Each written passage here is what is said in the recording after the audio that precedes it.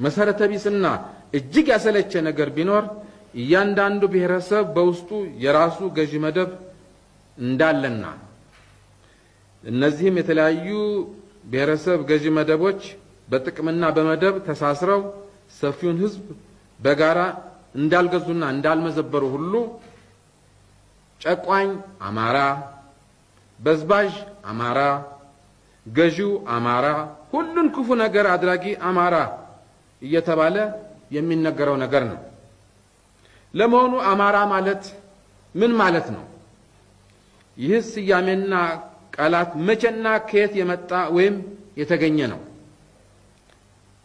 በጣም ራቅ ባለው ጥንት ጊዜ እስራኤላውያን ኢትዮጵያን ሊጎበኙ ይመጣሉ።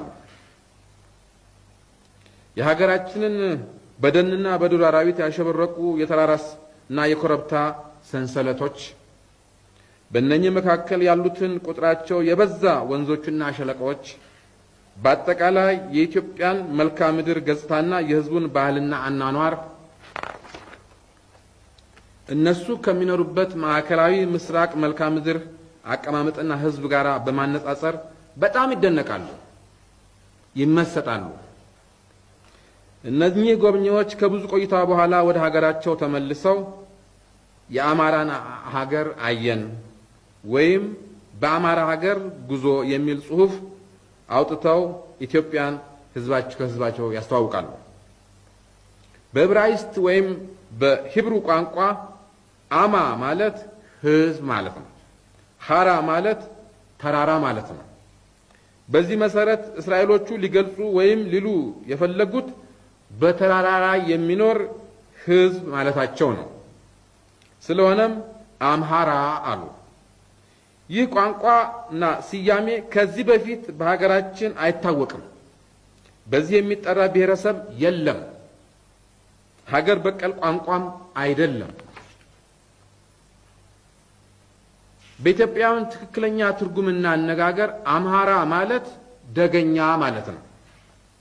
ታዲያ ይህ ከሆነ አምሃራው ወይም ደገኛው ደጋማው ኤርትራ ነው፣ ትግራይ ነው፣ ጎንደሬው ነው፣ ጎጃሜው ነው፣ ወለየው ነው፣ ኦሮሞው ነው፣ ጉራጌው ነው፣ ከፋው ነው፣ ግሚራው ነው፣ ጋሞው ነው፣ ሀዲያው ነው፣ ወላይታው ነው፣ ከምባታው ነው፣ አርጎባው ነው፣ ወዘተርፈ ማን ነው?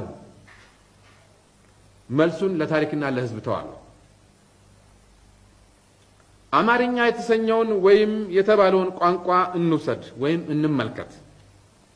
ይህ ቋንቋ በመሰረቱ የአንድ ብሔረሰብ ወይም የሕዝብ ቋንቋ አይደለም። ይህ ቋንቋ ከግዕዝ፣ ከዕብራይስጥ፣ ከአረብኛና ከተቀሩት የሀገሪቱ ልዩ ልዩ ብሔረሰቦች ቋንቋ የተቀመረ ሲሆን በየጊዜው ከየብሔረሰቡ የተወለዱና ለስልጣን የታደሉ ወይም ስልጣን የያዙ ነገስታት የሚጠቀሙበት የቤተ መንግስት ቋንቋ ነው።